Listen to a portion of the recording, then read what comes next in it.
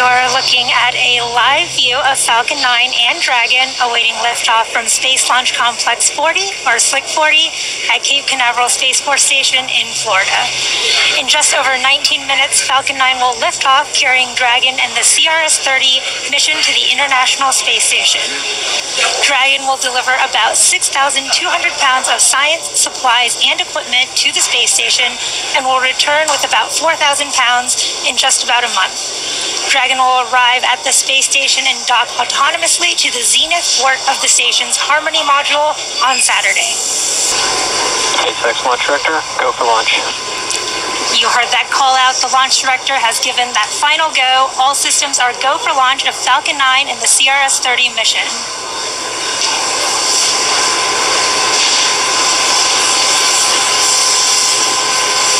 Two minutes, 30 seconds. Fifteen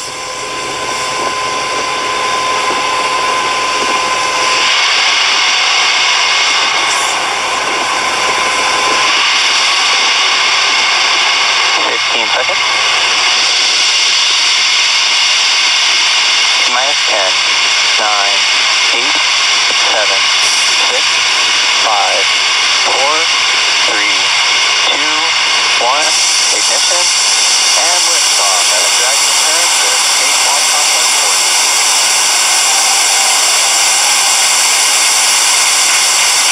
Tons of science and cargo take flight on NASA's SpaceX 30th Commercial Resupply Services mission. Falcon 9 at 1.7 million pounds of thrust, pitching downrange, sharing good calls of performance. Nominal trajectory as Falcon 9 and Dragon arc out to the northeast. Falcon 9 has successfully lifted off from Slick 40 at Cape Canaveral Space Force Station. And during ascent, we will tilt or gimbal our engines, guiding the rocket into what we call a gravity turn. Through this turn, the vehicle is flying both up and horizontally, horizontally away from the launch pad. Now, this rocket typically needs to go about 17,500 miles per hour horizontally in order to make it to orbit and avoid being pulled back down to Earth. So moments ago, we did throttle the engines down in preparation for max Q, or maximum aerodynamic pressure, in just a couple seconds. Max Q. There was that call out for max Q. And coming up, we have a few events in quick succession, starting with main engine cutoff, followed by stage separation, second engine startup one, and the start of the boost back burn for the first stage. MVAC is chilling. There's the call out. The MVAC engine on the second stage is chilling in, getting ready for startup. Now, the first of these events is main, engine cutoff, or MECO, where the nine Merlin 1D engines on the first stage will shut down in preparation for stage separation, which is where stage one and two will separate from each other, with the first stage making its way back down to Earth and the second stage uh, performing second engine start one, which is where we ignite that single Merlin vacuum engine on board the second stage. Now, the boost back burn will then start on the first stage. This burn helps assist the vehicle flip back around and reorient, reorient itself back to land. MECO starting in just a couple seconds.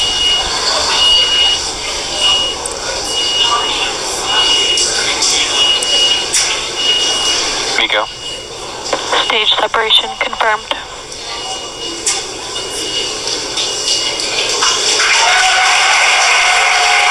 MVAC ignition.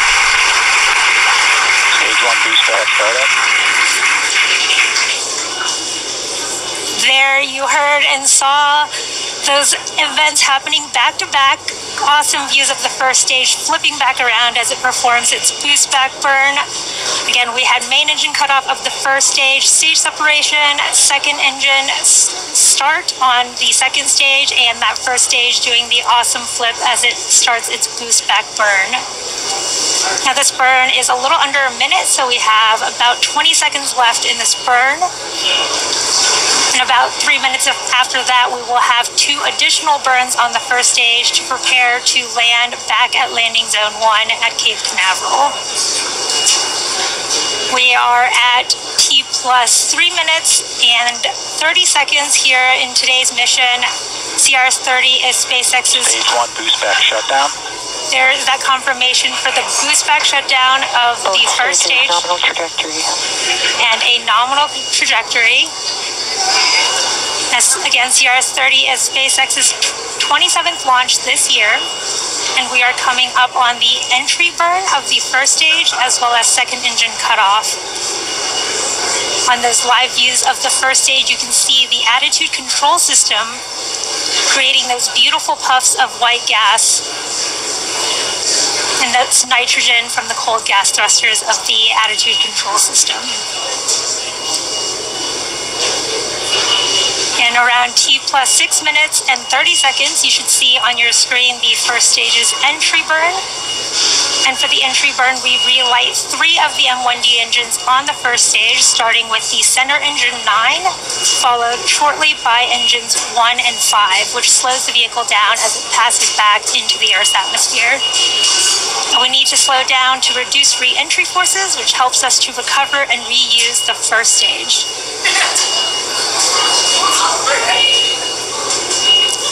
The second stage on the right, you can see beautiful views of the Earth in the background and that Merlin vacuum engine heating up as it performs its burn.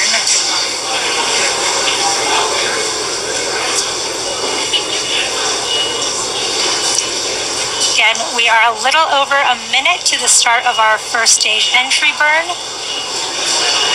You can see the first stage on those live views on your left with two of the four hypersonic grid fins deployed, helping steer that first stage down as it makes its way back home to Earth.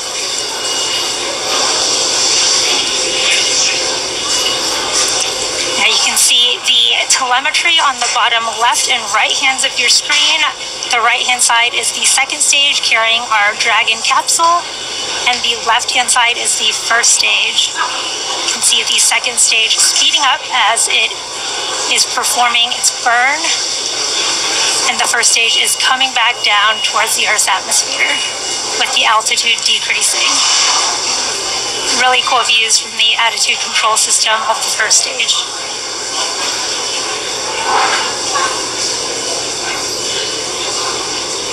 Just about 20 seconds from the start of our first stage entry burn, we should be able to see really cool views of that burn from those views on the left of your screen.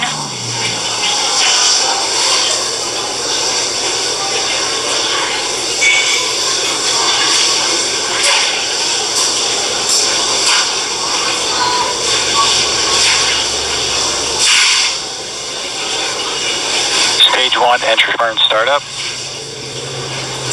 There is the start of the stage one entry burn.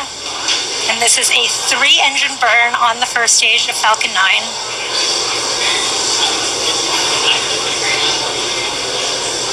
Stage one, entry burn shutdown. There you Stage saw 1 FTS has safed. really cool views of the end of the first stage entry burn and the flight stages nominal trajectory. and the call outs for nominal trajectory and the flight termination system being saved. Now, the first stage that is supporting today's mission will be has just performed this entry burn for the sixth time. Falcon 9 is the world's first orbital class reusable rocket, and this allows SpaceX to refly the most expensive parts of the rocket, which in turn drives Stage down one, transonic. drives down the cost of access to space. Now, coming up, we have that landing burn starting in just a few moments.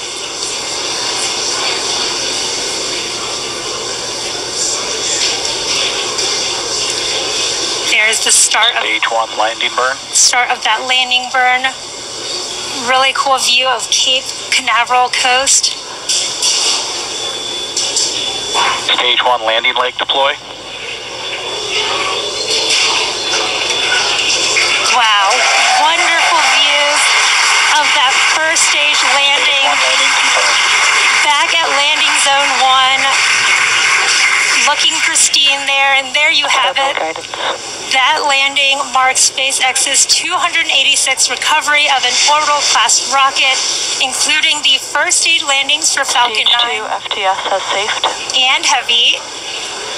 You heard that call out that stage 2 FTS is safe, getting ready for second engine cutoff here in just under 10 seconds.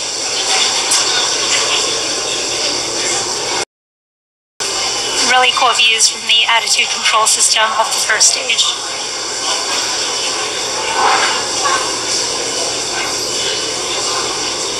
Just about 20 seconds from the start of our first stage entry burn, we should be able to see really cool views of that burn from those views on the left of your screen.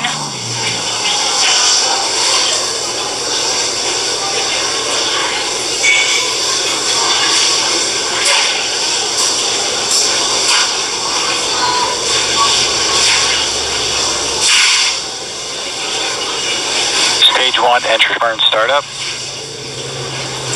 There is the start of the stage one entry burn. And this is a three engine burn on the first stage of Falcon 9.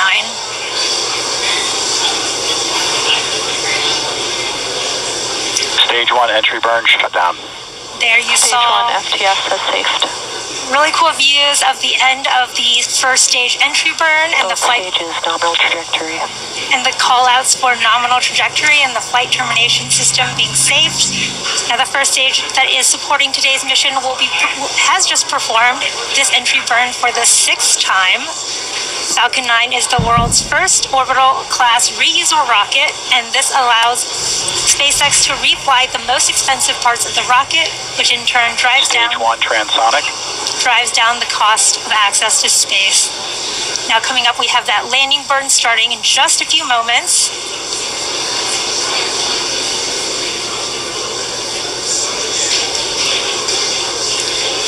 There's the start of Stage one, landing burn. start of that landing burn.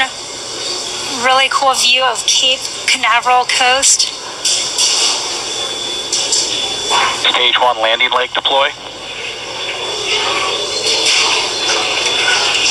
Wow, wonderful views of that first stage landing. Back at landing zone one, looking pristine there, and there you have it.